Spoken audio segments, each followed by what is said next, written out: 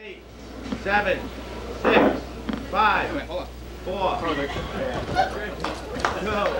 one. All right, there it is. Now, there you go. Oh, Ed, Ed, I'm not under arrest yet. Ed, please. Whew. The bag? Do me a favor. Like a pillowcase. Straighten my hands over the bag, inside the bag. Put it right in. Put it right. Now wait. Now stand back. They can't see you, Ed. See, if you see, you gotta stand over here. words.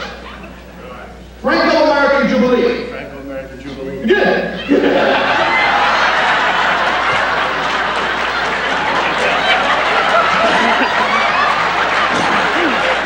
This is Thomas Blacke, escape artist all the way from Rhode Island.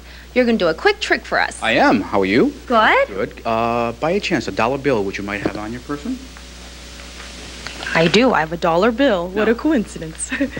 Many people are unaware that Houdini was famous for many kinds of magic, including escapes. He's most famous for escapes, but he was also a very, very good uh, magician at sleight of hand. Now, I'm sure if he could do the trick back 100 years ago, he would still be working today. What I do, essentially, when I need money, instead of going to the bank, I just merely take a dollar bill and I just simply add zeros whenever I need. Now, this is a pretty cool trick. Unfortunately, the government says I have to turn it back. It's That's a hundred. You turn one it to a is, it is. hundred. But actually, it's only 100 for, for a couple of seconds. I mean, the rules are you've got to change it back. Ah. But the best part, you know what it is, Sula? What? I love big tips. It was a great meeting. Thanks you for, thanks for that. Oh, here you go. I'll, I'll hand it back to you. Thanks very much, Sula. Good now. Okay, good. Now hold on to the.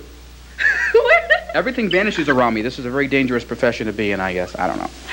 Magicians gathered at the Fantasma Magic Shop in Midtown hoping to set a world record. Sleight of hand masters, contortionists, Three, two, one.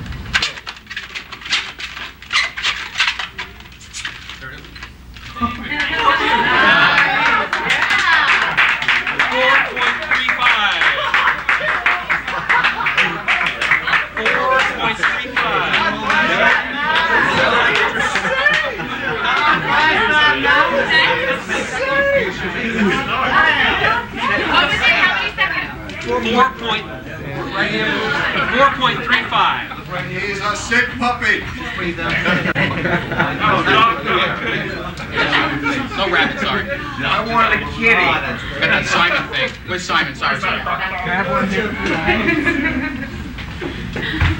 Definitely a kitty. That's definitely a kitty. That's a, that's a whole run. Thank you. wow. How fast was that? Four point three five. 4.35. Ladies and gentlemen, I'm the world's fastest knife thrower with six records, including three knives within one second. I wouldn't mess with that guy with a 10-foot pole.